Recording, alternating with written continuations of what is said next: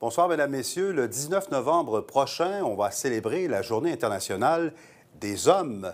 Depuis 1999, on célèbre cette journée partout à travers le monde. On en parle avec Olivier Caron.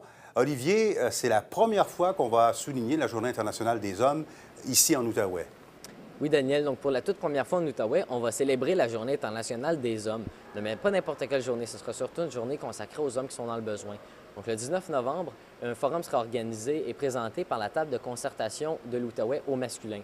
Le but de ce forum-là, ce sera surtout d'améliorer la façon dont on vient en aide aux hommes dans le besoin, dans la région, euh, donc les services qu'on leur offre. La table de concertation travaille depuis 2008, donc depuis maintenant quatre ans, à venir en aide aux hommes dans la région euh, qui sont en difficulté puisqu'on s'est aperçu du besoin qu'il y avait et aussi du sérieux manque de ressources et de soutien fait à ces hommes-là.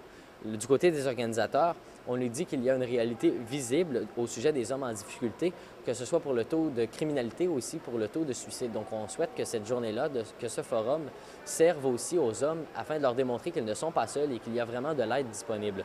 Justement, il va y avoir plusieurs kiosques d'organisations qui viennent en aide aux jeunes dans la région présents sur, euh, sur place.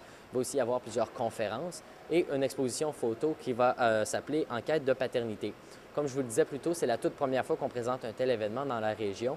Euh, même si depuis 1999, partout à travers le monde, on célèbre la Journée internationale des hommes. Le forum, ce sera complètement gratuit, donc euh, ouvert à tous. Ça aura lieu au pavillon Lucien Brault de l'Université du Québec en Outaouais le 19 novembre de 13h à 19h30. Olivier Caron à Gatineau, merci.